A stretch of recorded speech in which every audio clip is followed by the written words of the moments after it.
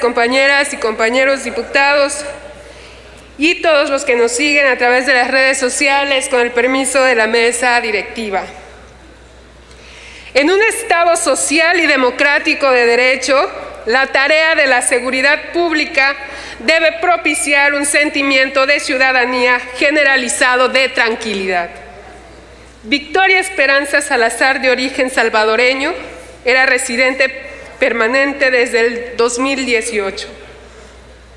Refugiada en nuestro país por razones humanitarias, como muchos hermanos y hermanas centroamericanos que llegan en busca de protección. Lamentablemente hoy es parte de las estadísticas del uso excesivo de la fuerza por parte de los elementos policiales, quienes en lugar de mantener la paz pública y la seguridad de las personas, se conducen como si desconocieran los protocolos de actuación policial, violentando los derechos humanos. Victoria fue víctima de cómo se ejerce la función policial en el municipio de Tulum. La sometieron de manera brutal, provocando su muerte. Me uno a las diferentes voces que condena indignación por el actuar de estos elementos policíacos. La víctima sufrió lesiones degradantes previas y posteriores a privarla de la vida. Expusieron su cuerpo por varios minutos en un lugar público, incurriendo en evidentes faltas a las normas jurídicas. Nuestras voces piden no más impunidad a los feminicidios en Quintana Roo. Piden que la Fiscalía General del Estado se conduzca por investigaciones de manera eficiente y justa.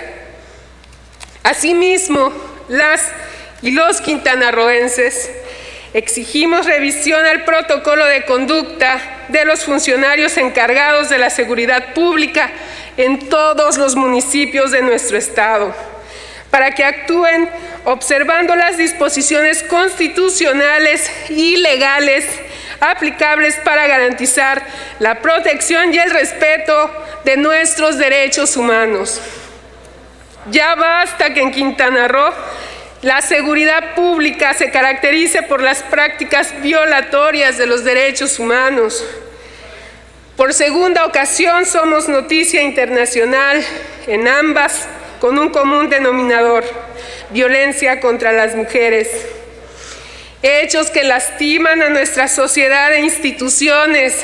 Es vital para construir el orden y la paz que todas y todos merecemos en nuestro Estado que se conduzcan los avances en materia de seguridad pública, ya que hasta el día de hoy, por la falta de un nombramiento del titular de la Secretaría a cargo, no se han rendido cuentas claras a la ciudadanía.